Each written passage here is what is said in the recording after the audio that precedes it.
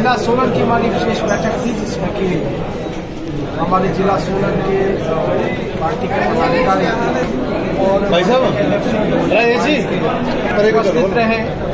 और इसमें जो हमारे आगामी भू सशक्तिकरण अभियान चलने वाला है इसके साथ साथ डाटा प्रबंधन और मन की बात विषयों को लेकर विशेष रूप से यहाँ प्रशिक्षण भी किया गया।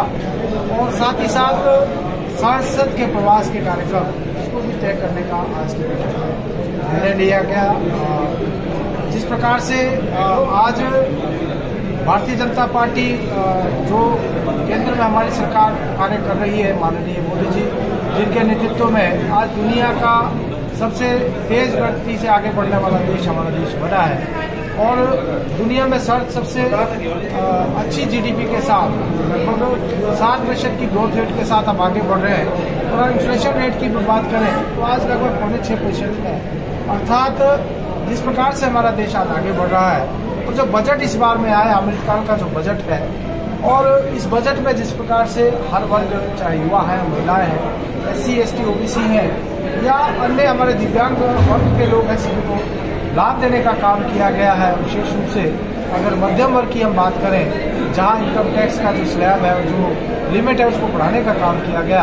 ये सारे विषय आज बैठक में हमने जो है रखे हैं। साथ ही साथ, जिस प्रकार से वर्तमान सरकार ने मात्र सवा दो महीने के कार्यकाल में, और मैं कह सकता हूँ कि झूठी गारंटियाँ देकर झूठ बोलकर ये सरकार सत्ता में आई।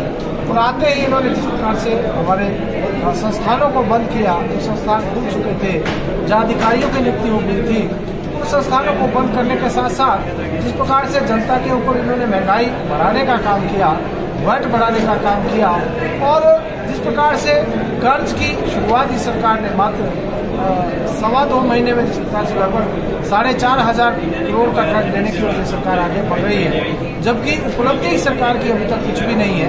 एक भी नया काम या नई योजना ये सरकार प्रारंभ नहीं कर पाई और ऐसे समय में व्यवस्था परिवर्तन करने वाली सरकार की बात करती है, जो व्यवस्था परिवर्तन की बात करती है उसने व्यवस्था को अव्यवस्था में फैलाने का काम किया है। मैं समझता हूँ ये दुर्भाग्यपूर्ण है और जिस प्रकार से महँगाई की मांग जो है जनता के ऊपर बढ़ाने का सरकार ने काम किया और जो गारंटियाँ इन्होंने दी थी, उस दिशा में अभी तक कोई भी प्रगति नहीं हुई है। मैं समझता हूँ वर्तमान सरकार का अभी से जनता का मुँह सरकार से हो गया है। और हम देख रहे हैं जिस प्रकार से आज पार्टी का हमारा हस्ताक्षर अभियान